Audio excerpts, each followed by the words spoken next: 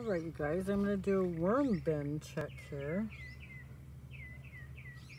I took the cardboard off. I have about four inches of cardboard on top of here. So, let's see.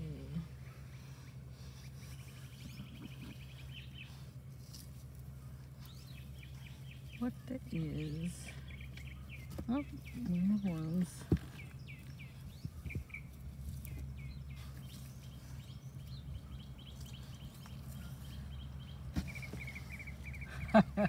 and a frog.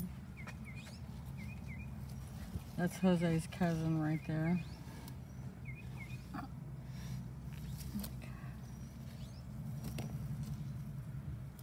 Come on now.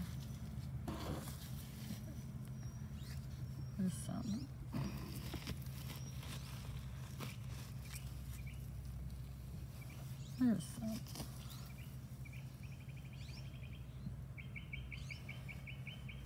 This is the third worm bin that I have.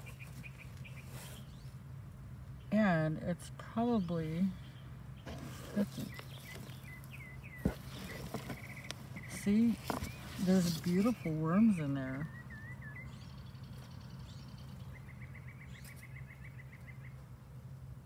And I love messing with them and watching them grow and feeding them and so on and so forth.